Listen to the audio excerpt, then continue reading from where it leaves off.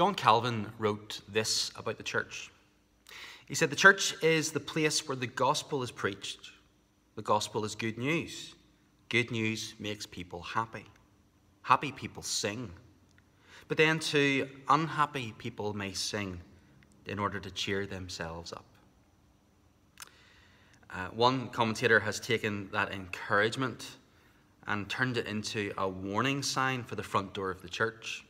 It sounds like this Enter at your own risk. Within these doors, your pride is in danger of melting into exuberant joy. I suppose what both those lines are getting at is the encouragement of the gospel and its joy. We can measure churches in all kinds of ways. In fact, in the not too distant future, the Presbytery Consultation Committee will come here to Ballygilbert. They'll check in with us, they will see how we're doing. Sounds good. But a lot of the questions will be about the ABCs of the church. And by that we mean attendance, buildings, and cash. Now, are those the best health markers of a body of Christ's people? Well, I would argue they're not. Imagine instead if we were to be measured on our joy for the Lord and His good news, the gospel, and the joy it presses into us and onto us.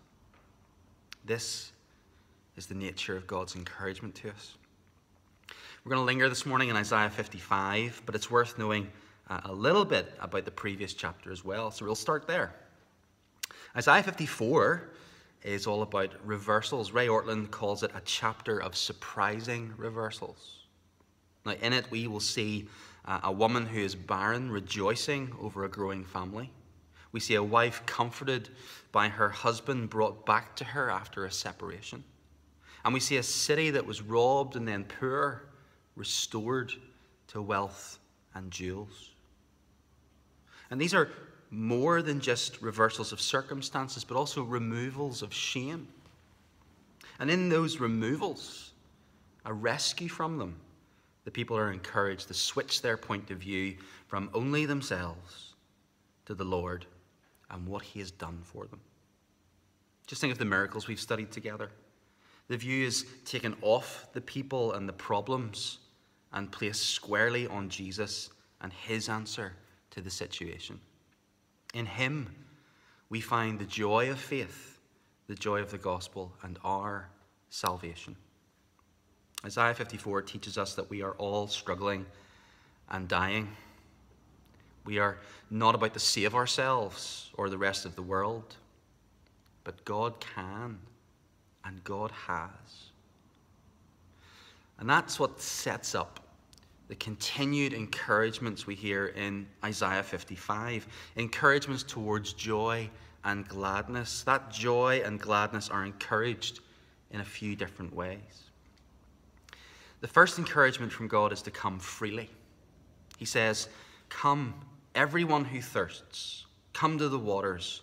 And he who has no money, come, buy and eat. Come buy wine and milk without money and without price. That is God's message to all the earth, to all of us. Someone else has paid, so come freely. It's so important that we hear it again at the very close of the Bible. Jesus says, The Spirit and the bride say, Come, and let the one who hears say, Come, and let the one who is thirsty come. Let the one who desires take the water of life without price. Part of the encouragement of words like these is that they aren't just words, they're an invitation to an experience. We can know a lot. We can know a lot about God and Jesus and the Spirit and the Bible. But Christian joy is in the experience of salvation. It's like when we used to go to street markets or farmers' fairs with the stalls and the vendors and the free samples with no money required, we can taste what is good. We all know someone who might take the mick with a free sample. I used to see it when I worked in Sainsbury's. the free samples were brought out, and you could spot the kids and a few adults as well doing the laps and getting a second, third, fourth bite for free. Where the sellers would want you to buy something as part of that bargain, God makes sure here that we know someone has already paid. Salvation is free, so come freely.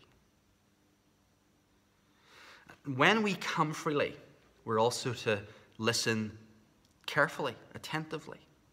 Because God doesn't deal in free samples or small bites. His offer is rich and lush and filling. Listen again. God says, Listen diligently to me and eat what is good. Delight yourselves with rich food. Incline your ear and come to me. Hear that your soul may live. I will make with you an everlasting covenant, my steadfast, sure love for David.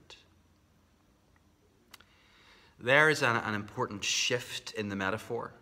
The picture and the poetry of the food and the water are replaced by God Himself. God is the food we need to feed on, He is the goodness we receive, He is the one who nourishes us. And we can be confident and sure of that because there's no talk of the stomach here. We're to come, tilt our ears, listen and hear so that what? Your soul may live. Now that is the real us. The real you needs the real God. So we should come freely and be ready to listen carefully so important to understand what we mean when we say we're encouraged to listen to God. It is, in fact, listening to Jesus. At the heart of this message is the Son. We're to listen to Him. Now, much later on, God couldn't be clearer on this. In the presence of Jesus, He says to Peter, James, and John, This is my beloved Son, with whom I'm well pleased. Listen to Him. Listen to Him. You will never, hopefully, hear me preach my ideas to you. What you should hold me to is to preach God's words in Old and New Testaments and to pay particular attention to the words of the Lord Jesus. There is no other source of God's word and wisdom. Even the Spirit will drive us back again and again to the words and the work of Jesus. Now, you heard David uh, in Isaiah's reading. Isaiah is more than likely referring to David in the first instance. So when he says, Behold, I make him a witness to the peoples, a leader and a commander for the peoples. Behold, you shall call a nation that you do not know, and a nation that you did not know shall run to you because of the Lord your God and of the Holy One of Israel, for he has glorified you. That's a David picture. But even Isaiah knows there's another to come. And we surely know that only Jesus can save the world. That is an encouragement to us, but also a warning to others. In its context that we read into these well known words, the words that come next, we must hear them the right way. They speak for themselves. God says, Seek the Lord while he may be found, call upon him while he is near. Let the wicked forsake his way, and the unrighteous man his thoughts. Let him return to the Lord that he may have compassion on him, and to our God, for he will abundantly pardon. So we're to come freely, but perhaps urgently, to listen carefully and take the time to behold Jesus the Savior of the world. When we do all of that, we won't be able to help ourselves from looking forward. You might have all kinds of ideas about the future, maybe about heaven or hell, or about what kind of new earth we might live in when Jesus returns. But the rest of Isaiah 55 actually lays it out for us. It's part of the freely given nourishment and encouragement of the Lord. And he starts by prompting us to abandon our own human earthbound thinking. He reminds us, My thoughts are not your thoughts, neither are your ways my ways, declares the Lord. For as the heavens are higher than the earth, so are my ways higher than your ways, and my thoughts than your thoughts. Now, all by itself, that's a particularly strong putting in our place. We're not like God. We don't know everything. We can't imagine what it's all about, let alone what heaven might be like. We need God's view. But more important than that reminder is seeing those words in their context. We need to run into the whole section from 6 to verse 9. And then we really spot it. It says this Seek the Lord while he may be found, call upon him while he is near. Let the wicked forsake his way, and the unrighteous man his thoughts. Let him return to the Lord, that he may have compassion on him, and to our God, for he will abundantly pardon. For my thoughts are not your thoughts, neither are your ways my ways, declares the Lord. For as the heavens are higher than the earth, so are my ways higher than yours, and my thoughts than your thoughts. Now, what that tells us is that we cannot really grasp God's grace to us.